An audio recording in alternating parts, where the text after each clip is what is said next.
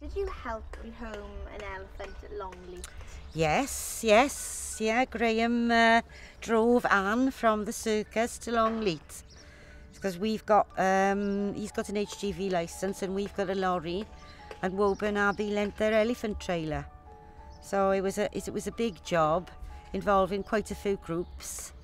But yeah, we got to drive Anne to Longleat, which was really lovely because I'd been sort of concerned about her since 2003 and we'd had information on her situation in our foyer.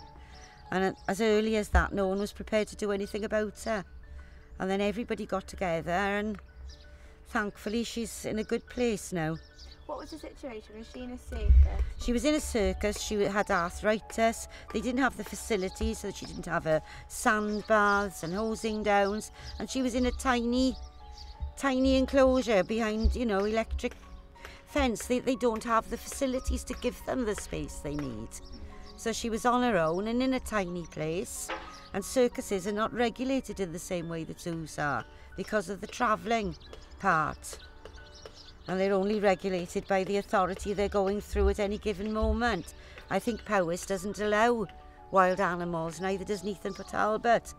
In circuses, but it's all down to the local authority. It was lovely, and to see her looking round when she got out of that trailer at, at Longleat, she knew she was somewhere better. She just knew.